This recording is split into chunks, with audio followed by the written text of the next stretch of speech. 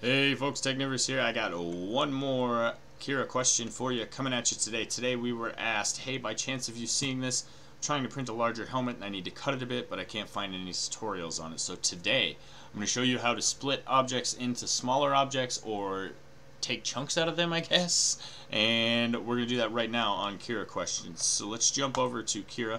I do have my setup already all shown here, and this is basically what we're looking at today. You can see I have this object which is actually just an end stop extender for my Ender 3 V2 and I have taken a small square chunk out of it. Now the end user here wants to uh, split an object into several parts so I'm going to show you how to do that. We're going to go back to pair, and I'm going to show you what I did to make this work. So I have this here um, which I can move freely I can grab a hold of it and we're actually going to delete it. So, um, so this is the object. Say I want to print two halves of this but not together. So I'm going to select the object, okay, and then I'm going to go down to support blocker, and I'm going to add in a support blocker, and in fact, I'm going to add in two support blockers, okay. You can see down here that it says eraser, and that's exactly what these are going to be. Basically, I need to set them up to do what I want them to do. So we're going to get rid of that one for now, and we're going to take this support blocker. We're going to go down here to the per model settings, and what we're going to do is go to modify settings for overlaps, okay.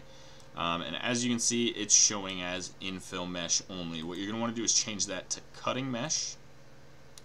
And we're going to select some settings. The settings we want are wall thickness, wall line count, top bottom thickness, infill density, and generate support. Now those should be easily accessible and pretty ready to bring over. We'll hit close there.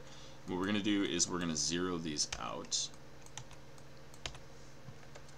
and now I have my cutting mesh and it is all set up so when I take this and let's let's scale here um, I'm going to turn off uniform scale that way and that way we can take the object and simply situate it. I am going to set it off a little bit here so you can see exactly what it's doing.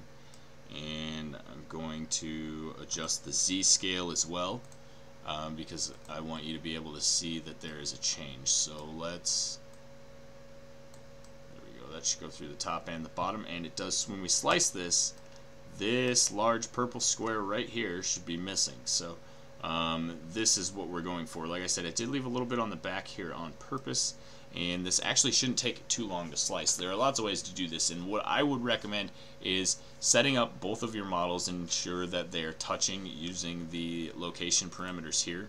That way you don't have any gaps in between them because you really don't want that. So let's hit preview and there you have it. You can see it printed just the parts of the model that I hadn't blocked. So now if I wanted to print the other half, what I would do is basically hide this model and activate the model on the other half. I can also easily just drag another one in here. Um,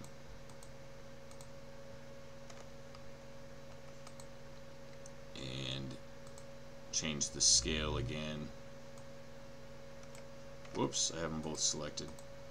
Uh, change the scale. Not that much. The Z scale.